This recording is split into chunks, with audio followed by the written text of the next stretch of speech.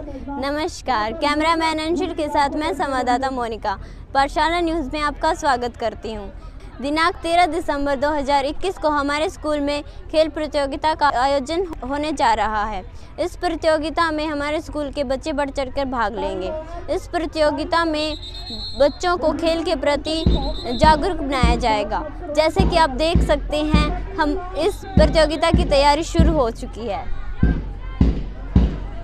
इस प्रतियोगिता में बच्चों के छिपे हुए गुण को बाहर लाने की कोशिश की जा रही है। इस प्रतियोगिता में बच्चों के साथ साथ अध्यापक गण भी भाग लेंगे।